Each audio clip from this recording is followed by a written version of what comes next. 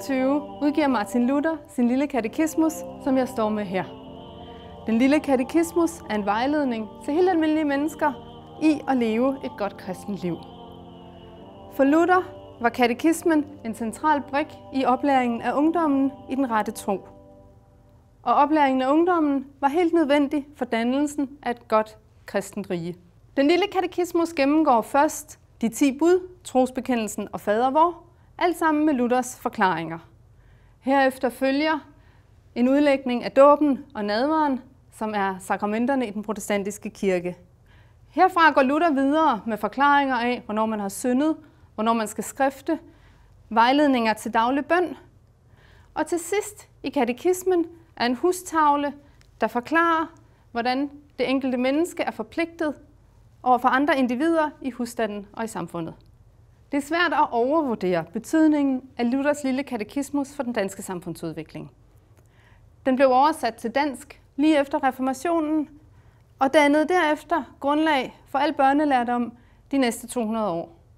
Alle danske børn skulle lære deres katekismus, de skulle lære den udenad, og de skulle lære at læse den. Hvad var det så, de lærte i den lille katekismus? Luther anså de 10 bud som helt central vejledning for, hvordan mennesker skulle leve et godt liv med hinanden på jorden. Og han forklarer de 10 bud i en relativt udvidet version. For eksempel så bliver det sjette bud, du må ikke bedrive hår, ikke kun til et forbud mod ægteskabsbrud, men til et forbud mod alle seksuelle forhold uden for ægteskab, både i tanke og i handling.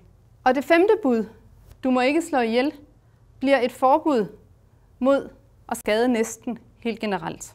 De 10 bud var ikke kun en moralsk og religiøs rettesnor for det danske samfund. De blev også efterhånden grundlaget for lovgivningen.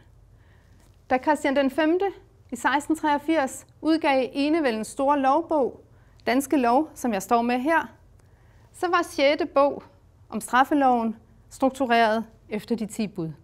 Det betyder, at opfattelsen af, hvad der var en kriminel handling, grundede sig på en bred fortolkning af de 10 bud.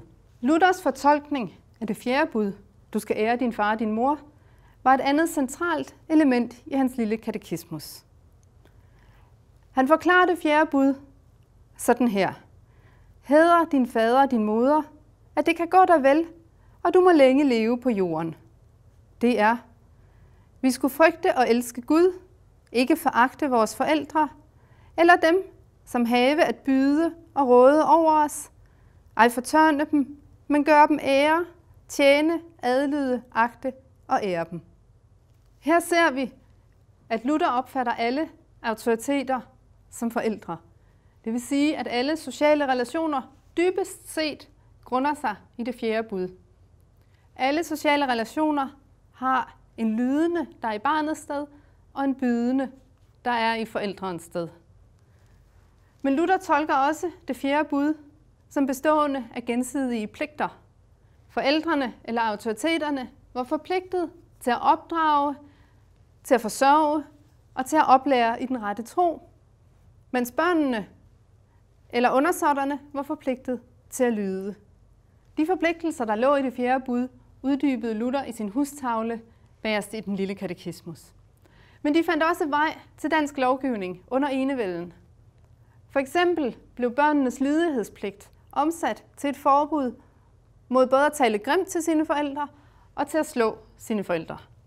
Og forældrenes pligt til at være ansvarlige opdragere blev omsat til et krav om, at de sikrede, at børnene gik i skole og lærte et ærligt håndværk.